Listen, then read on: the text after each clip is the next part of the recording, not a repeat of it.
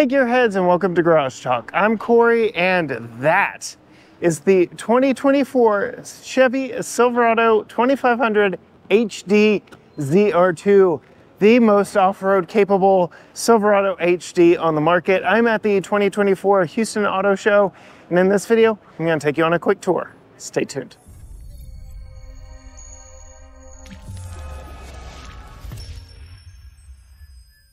Yes, gearheads, I am at the 2024 Houston Auto Show. Trucks are big here in Texas, and this is a big truck. This is the 2024 Silverado HD ZR2.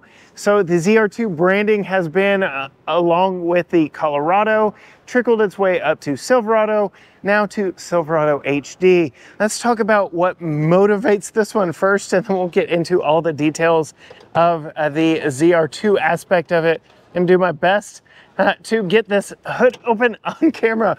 Underneath the hood of this one is the same 6.6 liter turbo diesel uh, V8 found in all HD pickup trucks making 470 horsepower and 975 pound-feet of torque. You can also get a 6.6 liter V8 uh, gas engine, making 401 horsepower and 464 pound-feet of torque. But this, let's face it, this is the one to get. This is the torque monster uh, with that 975 pound-feet of torque.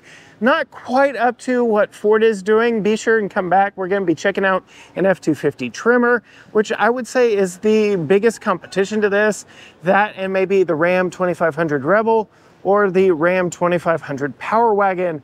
Those are the big off-road names in big off-road trucks. But you can see just how massive this pickup truck is. Okay, I'm 5'10". This is me coming up next to it.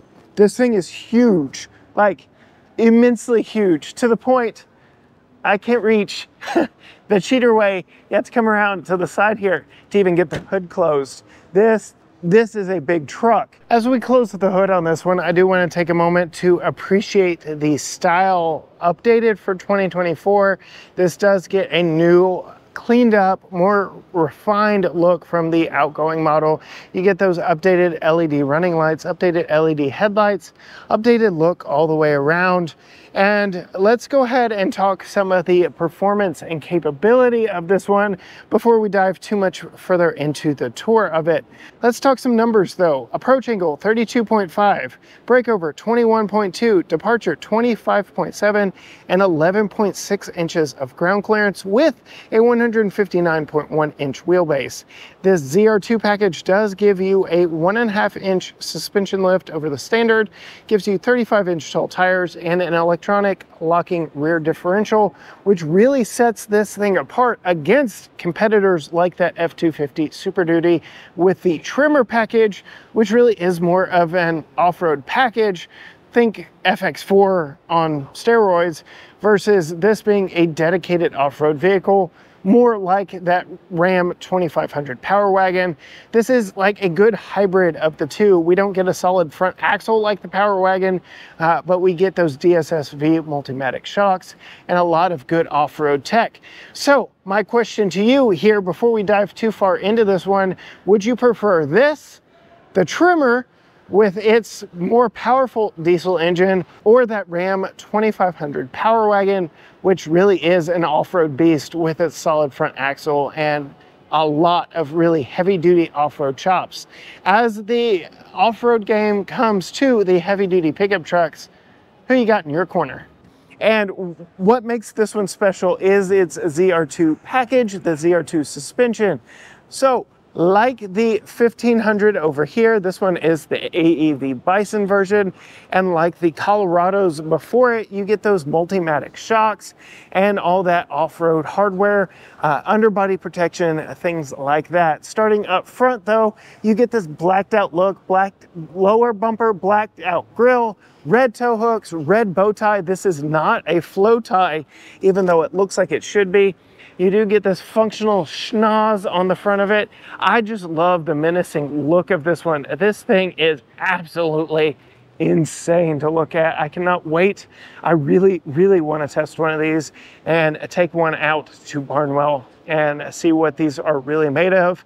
As we come back here behind the big 35 inch tall tires. You can see those DSSV Multimatic shocks. That's F1 style race technology here in a heavy duty off-road pickup truck.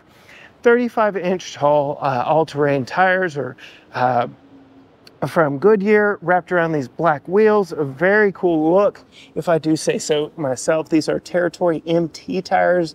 Very aggressive tread pattern here uh, with those ZR2 specific wheels. I don't know if you can see, but yes, ZR2 there on the wheels. Very awesome look. We get the power retractable running boards because of course you have to with a truck this big. Going with that gloss black theme, we get the gloss black paint here on the mirror caps, gloss black uh, door handles, and then a lot of flat black accents. The wheel arches are flat black. Uh, the bed step back here is also flat black. But uh, I mean, that's at my knee level just to get up here into the back of the bed. This is a all around massive pickup truck. You can see a little bit better here, those DSSV Multimatic shocks. Tuned obviously a little bit different than what we see in Colorado and Silverado, just because this is a heavy duty pickup truck. And then coming around uh, to the back, you get that multi-flex tailgate. Let's see if it actually works here at the auto show. Nope, they've got it locked up for the show. But I love this truck. This is a Texas-sized truck for Texas. And you can see here, we do have the window sticker this one starts at 70,600. All the options here bring it to 87,360. Go ahead and put that on screen if you want to scan it to learn a little bit more about this one. But we are going to pop in. Much like the 1500s, we get that updated dash on the inside, all the updated uh, materials and looks.